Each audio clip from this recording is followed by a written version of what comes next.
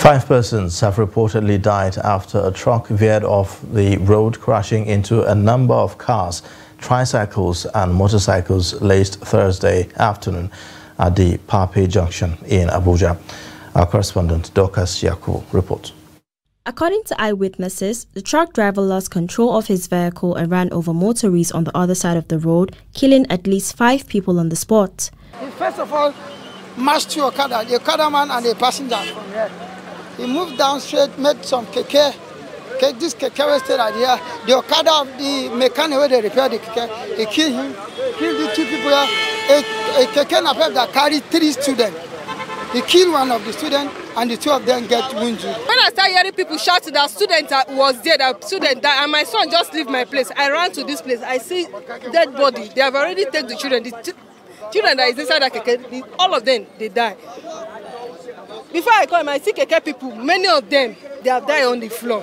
One of the survivors who narrowly survived the incident narrates how the unfortunate incident happened. I was coming from the junction, heading to Mpape, so the tipper Felbury was crashing people, was coming, was just keep coming.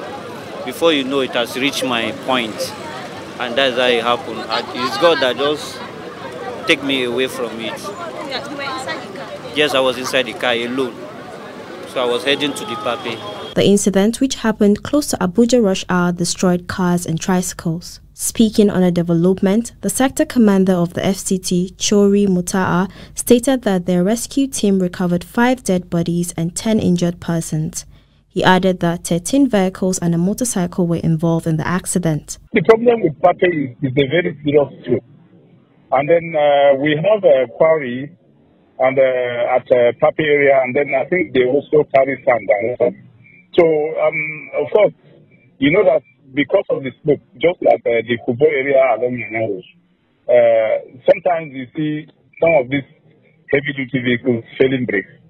And because of that, they, they run into other smaller vehicles. And in other Mpape junction specifically, um, you make every effort to clear people around that place. But you see, uh, sometimes when you are dealing with people, you have to just continue to appeal to them.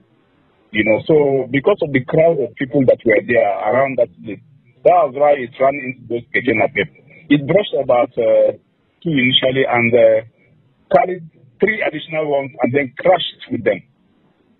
So in fact, we had to get uh, a, a, a, total of the uh, the the tipper for us to be able to retrieve uh, some of the corpses uh, that were trapped in the tractor.